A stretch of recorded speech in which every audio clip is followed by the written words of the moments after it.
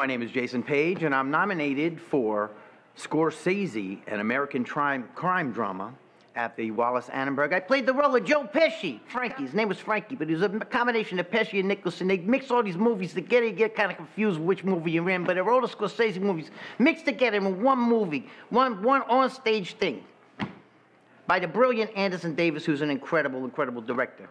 My initial growth happened as an egg in 1947 in my grandmother's belly as she was pregnant with my mother. My mother came out. Then I was conceived in 1969 in Texas, where I actually emerged as a formed being.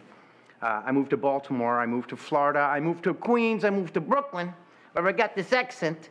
And then I moved to Manhattan to the, to the High School of Music and Art, LaGuardia High School. Fame, I want to live forever. I want to learn how to fly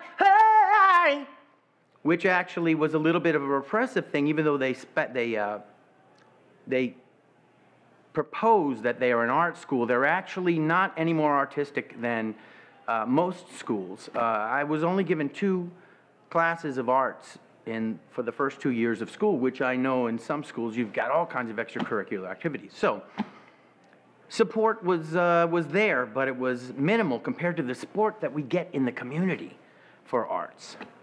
My dad's a saxophone player. My, my grandfather is a drummer.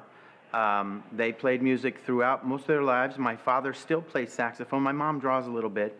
And she worked in theater in New York. She propped and stage managed over 100 off Broadway sh- shows throughout my uh, high school and young adult life. So I was exposed to incredible theater artists Geraldine Page, Mirror Repertory. Uh, New York Theater Workshop, Kathy and Mo Show, all kinds of really amazing underground art that helped to show me that we can really create our own thing in the world and have it be supported by the world and, and break new ground, actually. Because I, I, I, in New York, you really need to break ground in order to make it there. You make it there, you'll make it anywhere, it's up to you. Sorry was a little bit of a tangent there. My life as a theater artist in a tough theater town is incredibly rewarding because of the communities that I can inspire and be a part of and call upon for support. Uh, I'm a member of Open Fist Theater, which is a collective of, of artists that come together to produce their own work. Uh, the For the Record community is incredible, and the expansive work that we've done from bars to clubs to giant venues to incredible equity spaces like the Wallis are a, a gift unlike anything I could have ever imagined.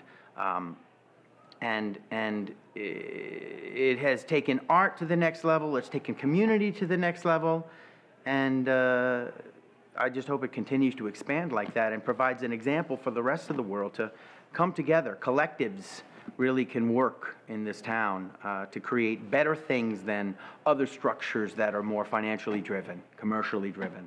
Even though we're in the middle of this commercial town, the real vitamins in the meal happen in the theater, I think.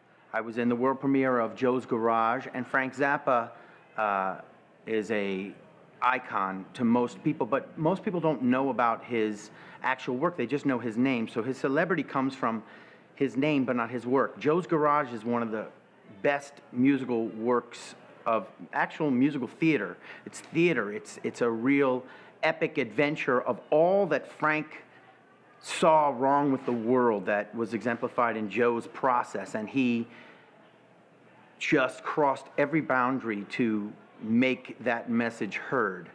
Um, so I, I, I, think that he's one of the most important art, artists of our time, actually, and uh, his work needs to be a little bit more appreciated. And uh, the other person I mentioned was Martha Demson at the Open Fist Theater, who inspired her community to create all the works that happen at Open Fist, which are incredible.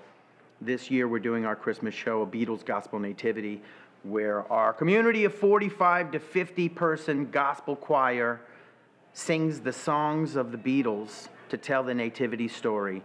In a 99 seat theater, we've got a cast of 65. It's incredible, but uh, this is how communities thrive with collaboration, and those who inspire that and create that are the heroes and champions of our world.